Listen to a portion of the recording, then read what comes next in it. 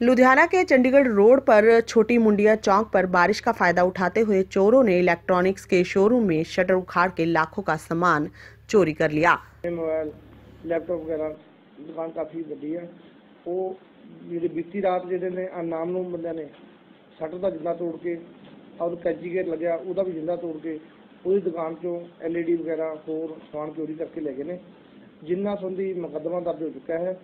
ਜਿਹਦੀ ਫੁਟੇਜ ਨੇ ਜਿਹੜੀ ਏਰੀਆ ਦੇ ਵਿੱਚੋਂ ਨੇ ਕਰਮਜੀਤ ਕਲੋਨੀ ਉੱਤਮ ਨਗਰ ਤੋਂ ਲੈ ਰਹੇ